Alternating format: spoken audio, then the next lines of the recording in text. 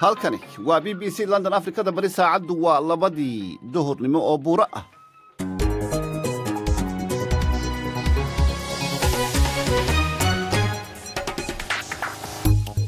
kulanti wanaagsan idilkiinba khiyaartana dhegaysanaysa meel kastoo aad caalamka ku sugan tihiinba waa maalin sabtiya bisha disembarna waa saddex iyo labaatan sannadka labada kun iyo toddobiyo tobanka.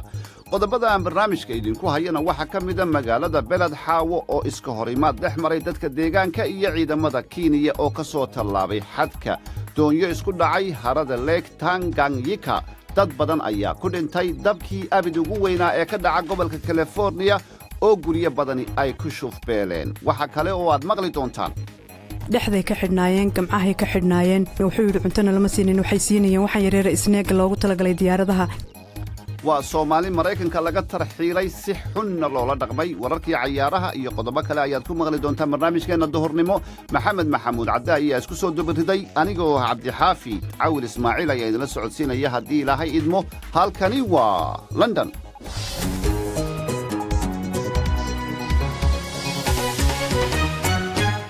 marka horese waxaynu ku bilaabaynaa wararka b b c da cabdirasaaq xaaji maxamed siraad ayaa inoo haya. Cabdirasaaq mahadsanid cabdixaafid maamulka dalka filibiinska ayaa waxa ay sheegeen in ka badan boqol qof in ay dhinteen duufaano ka dhacay dhinaca koonfurta waddankaasi. Waxaana la sheegay tobannaan qof in la la'yahay.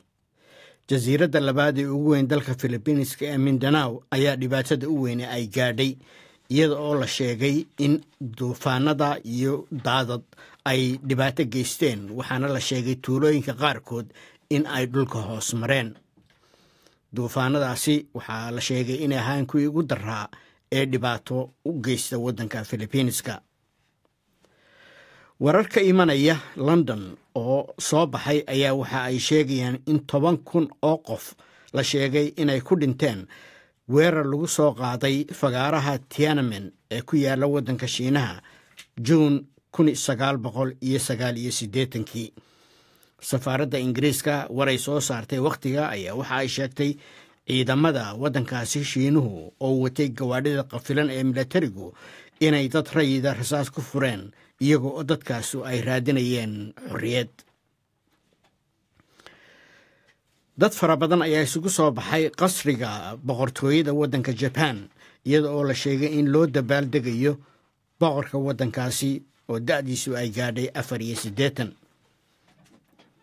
Boqortooyada ayaa waxa ay isa soo safeen gurigaasi hortiisa iyaga oo dadkuna ay u sacaabinayeen waxaana uu sheegay in uu boqorku jagada sii hayn doono ama imberadoorku ilaa abril sagaal iyo labaatankeeda oo uu ballan qaaday. Maamulka dalka nigeria ayaa waxa ay sheegeen shaaca inay ka qaadeen dad fara badan oo reer nigeria ah oo la sheegay in loo dhoofiyo waddamada carabta oo gabdho ay u badan yihiin. Wararku waxa ay sheegayaan da'da carruurtaas inay ahayd laba iyo toban ilaa shan iyo toban waxaana la sheegay lix kun oo kale in laga soo celiyey wadanka liberia waddanka libiya oo iyagana markii hore ay xaggaa u tarxiileen saraakiisha dalka tanzaniya ayaa waxa ay sheegeen laba iyo labaatan qof in ay dhinteen oo ay ku qaraqmeen laba doonyood oo isku dhacay harada tanganika subaxnimadii saaka waxaa kale oo ay sheegeen in doonyaha qaarkood ay sideen boqol iyo afartan qof ta kalena ay siday shan iyo lixdan qof. Warkiina waa naga intaa aad ayuu u mahadsan yahay. Cabdirasaaq xaaji maxamed siraad oo inala socodsiinayey wararka b b c da. Barta facebooka ayaa dhegaystayaal sidoo kale toos noogala socotaan. Iminkana u diyaar garooba qaybaha idaacadda inooga hadhay. Halkani waa london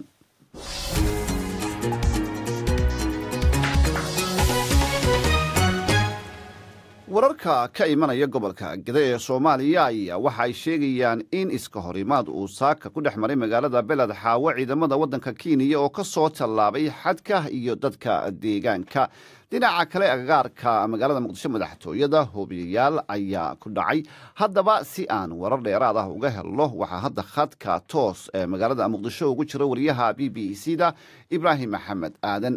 Ibraahim aad ayaad u mahadsan tahay maxay salka ku haysaa xiisadda ka taagan beled xaawo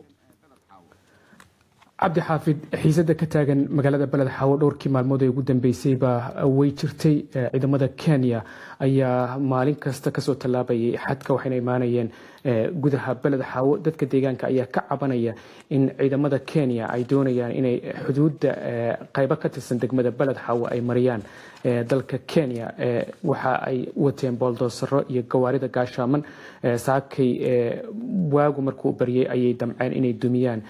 Guri magaalada ku yaalla ha yeeshee dadka deegaanka oo isticmaalaya dhagaxyo iyo budad ayaa tuuryo ku bilaabay ciidamada kenya ciidamada kenya. Rasaas ayay rideen inkastoo rasaastaasi ay hawada u ridayeen. Wax khasaaro ah oo la soo wariyey ma jiraan inkastoo ciidamada kenya la sheegay in daqara ay ku dhaceen gawaaridooda. Ha rayidka iyo ciidankaba waxaa la soo sheegay in khasaare arintaasi dhaliyay inuusan jirin. Laakiin ciidamada kenya markii dambe dib ayay xadka ugu laabteen. Dadka deegaanku waxay ka cabanayaan in ciidamada kenya ay doonayaan in qaybo ka tirsan degmada baled xaawo ay mariyaan xuduudda dhinacooda. Laakiin ilaa hadda maamulka degmada iyo kan gobolka iyo jubbaland iyo federaalkuba midkoodna arintan kama hadal. Sidaas oo kale dowladda kenya iyana kama aanay hadlin cabdi xaafid. Waayahay ibraahim dhinaca kale magaalada muqdisho madaxtooyada agagaarkeeda waxaa la sheegayaa hoobiyayaal ee ku soo dhacay. Maxaad ka og tahay kuwaas cabdi xaafid duhurnimadii markii lagu dhowaa ayaa ilaa saddex hoobiye waxay ku soo dhaceen xaafado ka tirsan degmada wardhiigley ee magaalada muqdisho gaar ahaan agagaarka madaxtooyada. Dadka deegaanka oo b b c da la hadla waxay sheegeen in saddexdaasi hoobiye midkoodna aanu qarxin oo ay halkaasi ku soo dhaceen. Wax khasaaraha oo geysteenna ma jiraan cabdixaafid aad iyo aad ayaad u mahadsan tahay. Ibraahim maxamed aadan ayuu kaasaa wariyaha b b c da oo khadka toos ugu jiray. Asxaabta facebooka qaar ka mid a ayaa ra'yigooda ka soo dhiibtay maxamed cawil axmed. Waxa uu joogaa magaalada boosaaso. Waxa aanu yidhi iska horimaadka dhex maray ciidamada kenya ee xadka beled xaawo gedo. Aad ayaan uga xumahay waana ayaan daro weyn ayuu yidhi inaan laga fiirsan ciidanka halkaasi dhibaatadu iyaga shacabka ay ku dhex martay. Halka maxamuud warsame oo jooga gabiileyna uu leeyahay iska horimaadka saaka ku dhex maray beled xaawo ciidamada kenya ee xadka ka soo tallaabay iyo dadka deegaanka. Waxa uu muujinaya ayuu yidhi in ay wadaniyadda shacabka soomaaliyeed ay aad u nooshahay. Qaar ka mid ah asxaabta facebooka oo ra'yigooda ka soo dhiibtay ayay ahaayeen. Halkani waa london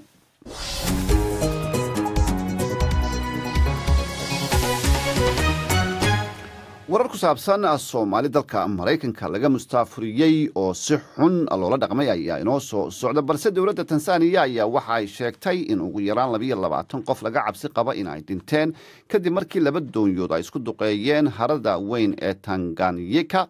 Subaxnimadii hore ee saaka laash siday ilaa boqol qof oo u socday munaasabad diini ah ayaa duqaysay doon siday ilaa iyo shan iyo lixdan qof oo rakaab ah kadibna labadiiba waa ay rogmadeen. Sharciga tanzaniya ma waafaqsana in habeenkii lagu socdaalo biyaha haradaasi.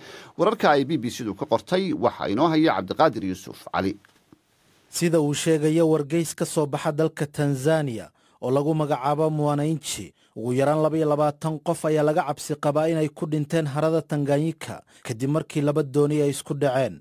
Ilaa iyo hadda maydadka afar qof ayaa la helay oo ay aqoonsadeen qaraabadooda. Dhanka kalena ilaa boqol shan iyo toban qof ayay u suura gashay inay ka badbaadaan shilkaasi. Shilka ayaa dhacay abbaar afar iyo bartii habeennimo. Kadib markii dooni sido boqol soddon iyo toddoba qof oo ku sii jeeday magaalo xeebeedka kigoma ay isku dhaceen dooni kale oo iyana siday lixdan iyo shan qof. Sida uu sheegay sarkaal ka tirsan hay'ad koontaroosho gaadiidka badda ku safra. Taliya ku-xigeenka booliiska ee magaalada kigoma ayaa sheegay in weli ay soconayaan dadaallada lagu badbaadinayo dadka weli la la'yahay waxaa gebi ahaanba la mamnuucay safarada habeenkii ee harada tanganyika aad ayuu mahadsan yahay. Cabdiqaadir yuusuf cali wararkii cayaaraha iyo weliba cayaarta aanu tooska u tabinayno ayaa inoo soo socota afrikada bari saacaddu iminkana waa labadii iyo sagaal daqiiqo. Balse dabkii baanaa ee baabiyey guryo ka badan toddoba boqol ayaa la sheegay inuu yahay dabkii ugu ballaanaa gobolkaasi california. Dabkan oo loo bixiyey thomas ayaa gubay bad gaaraya kun kilomitir oo isku wareeg ah. Dabkan ayaa badkan ayaa waxa uu leegyahay magaalooyinka new york brussels iyo baris oo laysku daray dabkan ayaa waxa uu ka bilowday buuralaha magaalada santa bola bilowgii bisha disembar faarax lamaane ayaa inoo haya wararkii ay b b sidu ka qortay dab xoog leh oo baabi'iyey in ka badan toddoba boqoloo guri oo ku yaalla gobolka californiya ayaa iminka waxa uu noqday dabkii ugu weynaa ee soo mara taariikhda gobolkaas. Dabka oo loo bixiyey thomas ayaa waxa uu gubay in ka badan kun kilomitir oo isku wareeg ah waa bed ka ballaaran magaalooyinka new york brussels iyo baris oo laysku daray. Dabka waxaa horraantii bishan disembar uu ka bilowday magaalada la yidhaahdo santa pola waxaana uu ku fiday dhinaca galbeed ee xeebta isagoo ka mid ah dhowr dab oo soo maray californiya bilihii dhowaa kumanaan dabdamiyayaal ah ayaa la howlgeliyey si ay u bakhtiyaan inta badan dababkii gobolkaas ka qarxay ayaa la diiwaan geliyey qarnigan aanu ku jirno. Saynisyahanadu waxa ay sheegayaan in cimilada sii kululaanaysa iyo dhismayaasha ku sii faafaya meelaha baadiyaha ah ay qayb ka qaadanayaan. Dabkan la magac baxay thomas ayaa kuwii isaga ka horreeyey ka sara maray gaar ahaanna kan loo yaqaano sidar ee ka dhacay san diego labadii kun iyo saddexda kaasoo gubay dhul aad u ballaaran dabka thomas waxa uu burburiyey in ka badan kun dhisme waxaana ku dhintay hal qof oo debdemiye ah oo la yidhaahdo corey iverson. Iminka si tartiib ah ayuu u socdaa waxaana ugu wacan dabaylo aan badnayn iyo roobab da'aya hay'adda gobolkaas u qaabilsan dabdamintu waxa ay sheegaysaa in iminka boqolkiiba shan iyo lixdan dabka la bakhtiiyey lana filayo in si tartiib ah uu u socdo. Toddoba ka mid ah tobankii dab ee ugu waaweynaa californiya ayaa waxa ay dhaceen tan iyo sannadkii labadii kun labana waxa ay dhaceen toddobaatameeyadii midna kun iyo sagaal boqol iyo labiyo soddonkii ayuu dhacay kaasoo baabi'iyey degmada la yidhaahdo ventura. Faarax lamaane aad ayuu mahadsan yahay. Dhegeystayaal waxaad degeysanaysaan barnaamijkeenii duhurnimo ee idaacadda b b c da laanta af soomaaliga xildhibaan ka tirsan aqalka koongareeska ee dalka maraykanka ayaa ku baaqay in baadhitaan lagu sameeyo sagaashan iyo laba qof oo soomaali ah oo la sheegay in si aan wanaagsanayn loola dhaqmay xili loo tarxiilay soomaaliya. Kate elison ayaa sidoo kale sheegay in dadkaasi iyaga oo jeebaysan loo diiday daawo musqul iyo raashin ay cunaan muddo siddeed iyo afartan saacadood. Ah diyaaradii la saaray dadkan ayaa la sheegay inaysan tegin soomaaliya oo ay ka soo laabatay waddanka senegal dibna ay ugu laabatay magaalada miyaami ee dalka maraykanka eedeymahaasi waxaa beeniyey laanta socdaalka ee dalka maraykanka. Haddaba si aanu arrintaasi wax badan aan uga ogaano ayaa waxaa noo suurto gashay inaan la hadallo fardowse maxamuud xaaji cumar oo ah hooyo dhashay mid ka mid ah dadka la celiyey iyo maxamuud oo ka mid ah dadka u ololeynaya arrimaha dhallinyaradan waxayna u warameen wariyaha b b c da ee maraykanka maxamed xaaji xuseen shiine annaga horta dee sida uu noo sheegay wuxuu yidhi dadka waa aad baa loo dhibay ay sababtu tahay markii la qaaday maalin waxay ahayd khamiis ah subaxii ilaa jimcihii ilaa iyo sabtidii iyo habeenkii la celiyey way xidhnaayeen oo lugaha ka xidhnaayeen dhexday ka xidhnaayeen gamcahay ka xidhnaayeen. Wuxuu yidhi cuntona lama siinin waxay siinayeen waxaan yareera isneega loogu talagalay diyaaradaha lookalka ah. Masquul may gelaynin. Isla markaa lugihiibaa bararay silsiladihiibaa qabtay iyadoo ay taa ku sameeyeen oo masquulihii u diideen oo cunto ay u diideen oo dawooyin ay u diideen oo dadka qaar ay jiranaayeen. Ayaa haddana waxay sameeyeen. Dadkii markii ay kaceen oo diyaaraddii ay in badan ku hayeenba wuxuu yidhi wiilkaygu waxay nagu sameeyeen jirdil oo kale sidii inay bushkareeyaan inay ciijiyaan.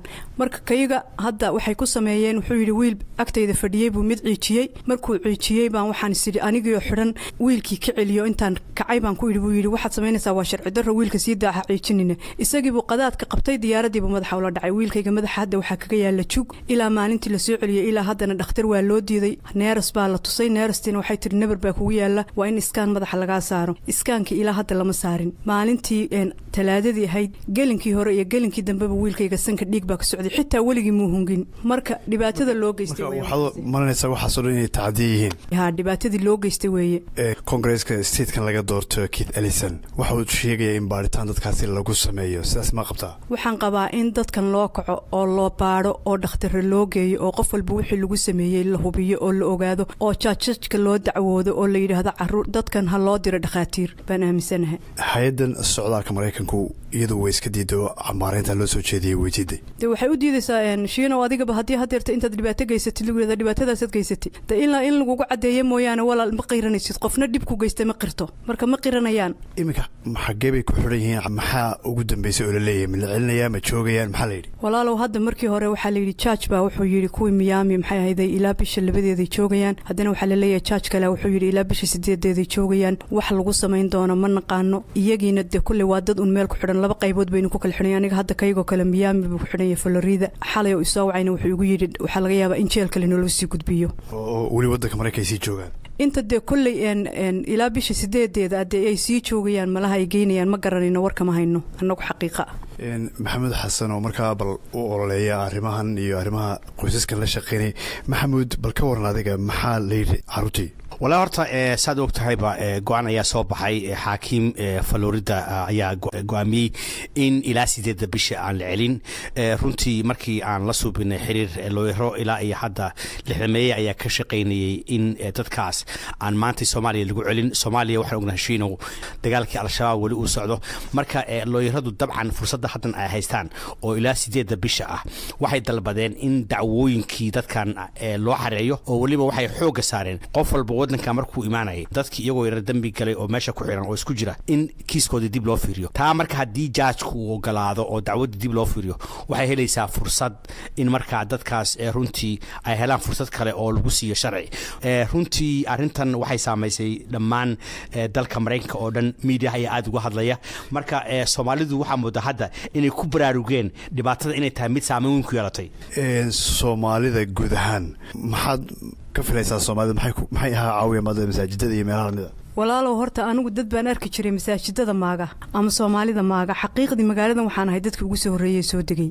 Iyadoo aan masaajid lahayna garanaya. Masaajidadu inay wax badan qabtaan waan ogahay. Haddana xaqiiqatan masaajidadu wixii laga rabay iyo basoshankii laga rabay iyo wixii la rabay inay qabtaan ma qabtaan. Masaajidadu waxaan dadkan xidhan ee hadda la celinayo ee la dhibaataynayo ee kuwa hore jawaanada madaxa loo gelinay ee ayna ogeyn xitaa intay u tagaan uma doodaan uma hadlaan. Waxay yaqaaniin jas masaajidadu inay masaajidka dhexdiisa hooyada joogta iyo aabbaha jooga ay yidhahdaan labaatan iyo tobankeena. Laakiin xaqiiqdii wax community ay wax u qabtaan ma jirto. Kuwaasi waxay ahaayeen fardowse maxamuud xaaji cumar hooyo dhashay mid ka mid ah laba iyo sagaashanka qof ee laga soo tarxilaya maraykanka iyo maxamuud oo ka mid ah dadka u ololeynaya arrimaha dhallinyaradan waxayna u warramayeen wariyaha b b c da ee maraykanka maxamed xaaji xuseen shiine nin u soo shaqeeyey ciidamada badda ee maraykanka ayaa lagu xidhay magaalada san francisco isagoo lagu eedeeyey inuu qorsheynayey in magaaladaasi uu ka fuliyo weerar argagaxiso ah maalinta ciidda masiixiyiinta. Caddaymo la helay ayaa sheegaya in ferit jameson uu qorsheynayey inuu bartilmaamsado goob mashquul ah oo badana ay taageen dalxiisayaasha isaga oo dhiirigelinayn isagoo dhiirigelinaya baa la yidhi kooxda iskugu yeertay dowladda islaamiga ah. Wariyaha b b c da ee waqooyiga maraykanka peter bows ayaa warbixintan halkaasi ka soo diray. Waxaana inoo soo jeedinaysa fardowso maxamed cilmi efred jemison oo lix labaatan sano jir ah ayaa lagu eedeeyey inuu doonayay inuu adeegsado walxaha qarxa si uu ugu bartilmaameedsado goob ay dadku ku badan yihiin oo loo yaqaano biyeer soddon iyo sagaal halkaasi oo ah mid ka mid ah goobaha ugu caansan ee loo dalxiis tago ee ku taala magaalada san francisco. Sida ay muujiyeen waraaqo maxkamadeed jemison ayaa si taxadar la'aan ah u muujinayay qorshayaashiisa. Waxa uuna u sheegay hay'adda muqaabaraadka ee maraykanka ee f b i-da inuu rumaysan yahay in uu yahay hogaamiye sare oo ka mid ah kooxda isugu yeerta dowladda islaamka ee is. Waxa uu u sheegay sidoo kale hay'adda f b i-da in xilligan ciidda masiixiyiinta ay tahay waqtiga ugu wanaagsan ee weerar la qaado. Waxa uuna ku dhawaaqay in uusan doonayn inuu baxsado sababtoo ah waxa uu diyaar u ahaa inuu dhinto.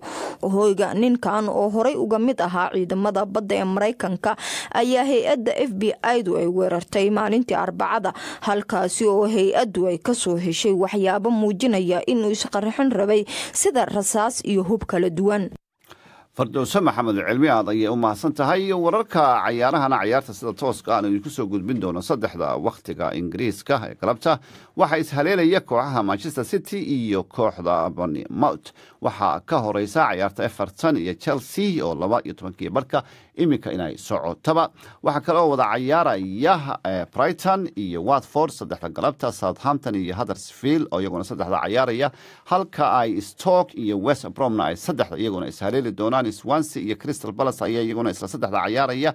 West ham iyo newcastle saddexda ayay cayaari doonaan. Ben iyo tottenham shanta iyo barka galabta ayay fooda istarayaan leicester iyo manchester united oo iyaduna la filaya inay noqoto. Cayaar xiisa badan waa sideed oo rubuucla halka aad nagala socotaana waa london iminkana baafintii baafinta waxaa si wada jira istuudiyaha b b c da ee magaalada nairobi idinkaga soo tabinaya anigoo ah caasho siciid xasan iyo cabdiqaadir yuusuf cali cabdiqaadir. Mahadsanid caasha. Baafinta ugu horreysa maanta waxay naga soo gaartay saliime cabdalla isaaq oo joogta magaalada muqdisho waxayna baafinaysaa muumina cabdiraxmaan. Waxaana ugu wardambeysay sanadka markuu ahaa kun sagaal boqol iyo sagaashankii haddaba haddiina maqlayso muumina cabdiraxmaan amabay jirto cid garanaysa fadlan warkeeda ha la gaarsiiyo saliime cabdalla isaaq iyadoo wix waraa loo sii marin karo xafiiska baafinta bisha cas ay ku leedahay magaalada muqdisho. Aweys xasan cumar oo jooga afgooye waxa uu baafinayaa xaliimo xasan cumar. Waxaa ugu wardambeysay iyadoo ku sugan kenya labadii kun iyo shantii. Haddaba haddii ayna maqlayso xaliimo xasan cumar amabay jirto cid garanaysa fadlan warkeeda ha la gaarsiiyo aweys xasan cumar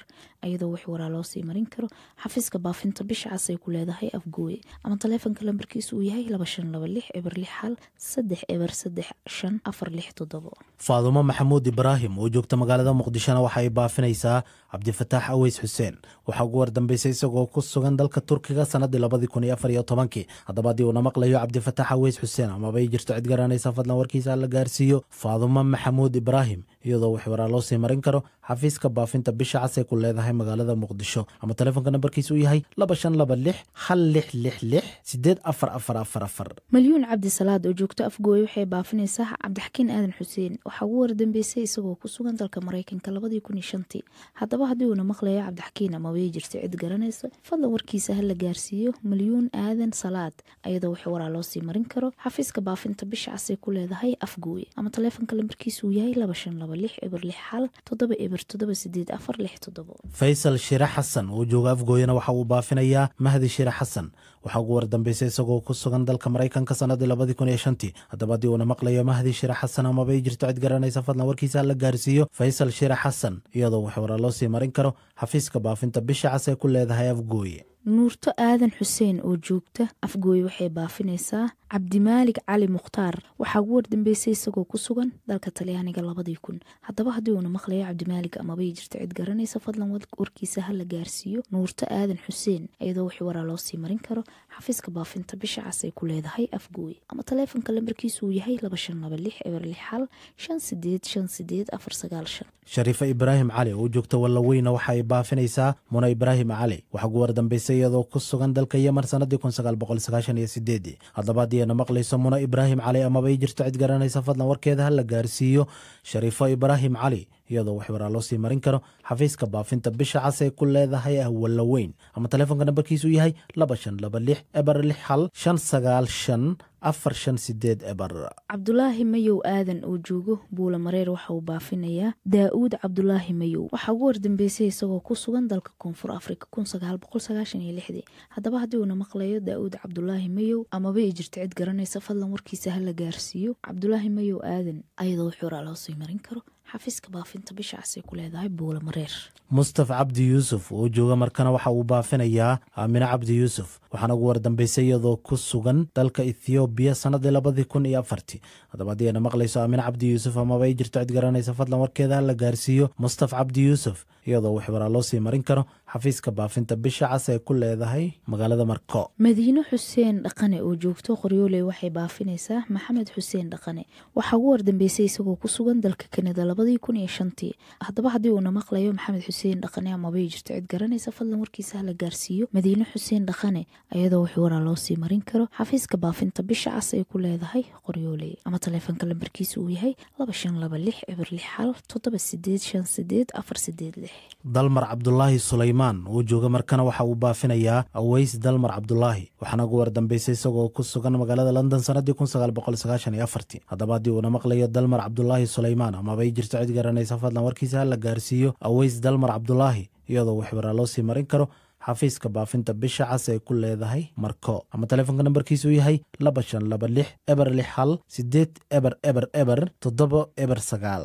Mahad jaamac cabdi oo jooga muqdisho waxa uu baafinayaa saynab axmed aadan waxaa ugu wardambeysay kun sagaal boqol sagaashan iyo kowgii haddaba haddii ayna maqlayso zaynab amabay jirto cid garanaysa fadlan warkeeda ha la gaarsiiyo mahad jaamac iyadoo wixii waraa loo sii marin karo xafiiska baafinta bisha cas ay ku leedahay magaalada muqdisho. Ubax xasan macalin oo joogta magaalada markana waxa ay baafinaysaa ayaan xuseen macalin. Waxaana ugu wardambeysay iyadoo ku sugan dalka maraykanka sanadii labadii kun iyo kowgii haddaba haddii ayna maqlayso ayaan xuseen macalin amabay jirto cid garanaysa fadlan warkeeda la gaarsiiyo. Ubax xuseen macalin iyadoo wixii waraa loo sii marin karo. Xafiiska baafinta bisha cas ee ku leedahay magaalada marko faadumo ibraahim xaaji oo joogto muqdisho waxay baafinaysaa cali maxamed ibraahim. Waxaa ugu wardambeysay isagoo ku sugan yeman labadii kun iyo lixdii. Haddaba haddii uuna maqlayo cali maxamed ibraahim amabay jirto cid garanaysa fadlan warkiisa ha gaarsiiyo faadumo ibraahim iyadoo wixii waraa loo sii marin karo. Xafiiska baafinta bisha cas ay ku leedahay magaalada muqdisho. Kaltuumo xuseen oo joogta magaalada markana waxay baafinaysaa maryan axmed muxuyadiin waxaa ugu wardambeysay iyadoo ku sugan dalka yeman sanadii labadii kun iyo afartii haddaba haddii maqlayso maryan axmed muxuyadiin amabay jirto cid garanaysa fadlan warkeeda la gaarsiiyo kaltuumo xuseen iyadoo wax waraa loo sii marin karo. Xafiiska baafinta bisha cas ay ku leedahay magaalada marko ama taleefonka nambarkiisu yahay laba shan laba lix eber lix hal shan hal shan labo labo sagaal eber. Xaawo cusmaan muumin oo joogto muqdisho waxay baafinaysaa maxamed isaaq aadan waxaa ugu wardambeysay isagoo ku sugan koonfur afrika labadii kun iyo afariyo tobankii. Haddaba haddii uuna maqlayo maxamed isaaq aadan amabay jirto cid garanaysa fadlan warkiisa ha la gaarsiiyo xaawo cusmaan muumin iyadoo wixii waraa loo sii marin karo. Xafiiska baafinta bisha cas ay ku leedahay magaalada muqdisho. Faamo ibraahim aadan oo joogta markana waxay baafinaysaa saciid axmed jaamac waxaa ugu wardambeysay isagoo ku sugan dalka kanada sanadii labadii kun iyo shantii haddaba haddii uuna maqlayo saciid axmed jaamac amabay jirto cid garanaysa fadlan warkiisa ha la gaarsiiyo faamo ibraahim aadan iyadoo wix waraa sii marin karo xafiiska baafinta bisha cas ee ku leedahay marko khayrow cali xuseen oo jooga muqdisho waxa uu baafinayaa shucayb cali xuseen waxaa ugu wardambeysay haddaba haddii uuna maqlayo shucayb cali xuseen amabay jirto cid garanaysa fadlan warkiisa ha la gaarsiiyo khayrow cali xuseen iyadoo wix waraa loo sii marin karo. Xafiiska baafinta bishaas ay ku leedahay magaalada muqdisho. Sacdiyo macalin shariif oo joogta markana waxay baafinaysaa maxamed faarax yuusuf. Waxaa ugu wardambeysay isagoo ku sugan dalka libiya sanadii sagaashankii. Haddaba haddii uuna maqlayo maxamed faarax yuusuf amaba ay jirto cid garanaysa fadlan warkiisa la gaarsiiyo sacdiye macalin shariif iyadoo wix waraa loo sii marin karo xafiiska baafinta bisha cas ay ku leedahay marko bakar macalin isaaq oo jooga magaalada muqdisho waxa uu baafinayaa xaajiyo maxamed ibraahim waxaa ugu wardambeysay kowgii haddaba haddii ayna maqlayso xaajiyo amabay jirto cid garanaysa fadlan warkeeda ha la gaarsiiyo. Bakar maxamed isaaq iyadoo wix waraa loo sii marin karo. Xafiiska baafinta bisha cas ay ku leedahay magaalada muqdisho. Macalin maxamed axmed oo jooga markana waxa uu baafinayaa cali mahdi maxamed. Waxaa ugu wardambeysay isagoo ku sugan dalka maraykanka sanadii labadii kun iyo kowgii haddaba haddii uuna maqlayo cali mahdi maxamed amabay jirto cid garanaysa fadlan warkiisa la gaarsiiyo mahdi maxamed axmed iyadoo wix waraa loo sii marin karo xafiiska baafinta bisha cas ay ku leedahay marko ama taleefonka nambarkiisu uu yahay laba shan laba lix eber lix hal sagaal sideed sagaal sagaal labo labo sagaal. Muumino maxamed macalin oo joogto muqdisho waxay baafinaysaa yuusuf siciid cumar. Waxaa ugu wardambeysay isagoo ku sugan dalka sacuudi carabiya haddaba haddii uuna maqlayo yuusuf siciid cumar amabay jirto cid garanaysa fadlan warkiisa ha gaarsiiyo muumino maxamed iyadoo wix waraa loo sii marin karo xafiiska baafinta bisha cas ay ku leedahay magaalada muqdisho. Ama taleefonka lambarkiisa uu yahay laba laba hal labo sagaal afar afar saddex xasan cismaan cali oo jooga markana waxa uu baafinayaa. Cismaan xasan cismaan waxaa ugu wardambeysay isagoo ku sugan dalkani kenya sanadii kun sagaal iyo saddexdii. Haddaba haddii uuna maqlayo cismaan xasan cismaan amaba ay jirto cid garanaysa fadlan warkiisa la gaarsiiyo xasan cismaan cali iyadoo wix waraa loo sii marin karo xafiiska baafinta bisha cas ay ku leedahay marko ama taleefonka nambarkiisa uu yahay laba shan laba lix eber lix hal shan toddoba shan afar toddoba lix sideed nadiifo cali oo joogto afgooy waxay baafinaysaa nuur cali gacal. Waxaa ugu wardambeysay isagoo ku sugan hong kong labadii kun iyo shantii. Haddaba haddii uuna maqlayo nuur amabay jirto cid garanaysa fadlan warkiisa ha la gaarsiiyo. Nadiifo cali gacal iyadoo wix waraa loo sii marin karo xafiiska baafinta bisha casay ku leedahay afgooye. Ama taleefonka lambarkiisa uu yahay laba shan laba lix eber lix hal laba afar toddoba saddex toddoba lix shan. Luuley xaaji oof oo joogta markana waxay baafinaysaa cabdulaahi xaaji oof. Waxaa ugu wardambeysay isagoo ku sugan dalka uganda sanadii labadii kun. Haddaba haddii uuna maqlayo cabdulaahi xaaji oof amaba ay jirto cid garanaysa fadlan warkiisa la gaarsiiyo luuley xaaji oof iyadoo wix waraa loo sii marin karo xafiiska baafinta bisha cas ku leedahay magaalada marko. Ama telefoonka nambarkiisa uu yahay laba shan laba lix eber lix hal toddoba saddex eber eber eber labo labo labo saalax xasan ibraahim oo jooga marka waxa uu baafinayaa yuusuf saalax xasan. Waxa uu wardambeysay isagoo ku sugan liibiya labadii kun iyo afartii haddaba haddii uuna maqrayo yuusuf saalax amaba ay jirto cid garanaysa fadlan warkiisa hala gaarsiiyo. Saalax xasan ibraahim ayadoo wixii waraa loo sii marin karo xafiiska baafinta bisha casay ku leedahay marko shariif cabdi barako oo jooga markana waxa uu baafinayaa cabdalla shariif cabdi baraka. Waxaa ugu wardambeysay isagoo ku sugan dalka sacuudiga sanadii labadii kun iyo afartii haddaba haddii uuna maqlayo cabdalla shariif cabdi amaba ay jirto cid garanaysa fadlan warkiisa la gaarsiiyo. Shariif cabdi barako iyadoo wix waraa loo sii marin karo xafiiska baafinta bisha cas ay ku leedahay magaalada marko baafinta ugu dambeysana maanta waxay naga soo gaartay yuunis bashiir cali oo jooga marko waxa uu baafinayaa maxamed yuunis bashiir waxaa ugu wardambeysay isagoo ku sugan holand haddaba haddii uuna maqlayo maxamed yuunis bashiir amaba jirto cid garanaysa fadlan warkiisa hala gaarsiiyo. Yuunis bashiir cali iyadoo wix waraa loo sii marin karo. Xafiiska baafinta bisha casay ku leedahay marko. Ama taleefonka lambarkiisa uu yahay lix eber lix intaas waa hagaag dhegaystayaal intaasi ayaynu ku soo gabagabeynaynaa barnaamijkeenni duhurnimo. Waa inoo iyo shanta galabnimo haddii ilaahay idmo maxamed maxamuud cadde ayaa isku soo dubariday. Anigoo cabdixaafid ayaa idinla socodsiinaya cabdirasaaqna. Warka ayuu inala socodsiinayay. Sidaas iyo nabadgelyo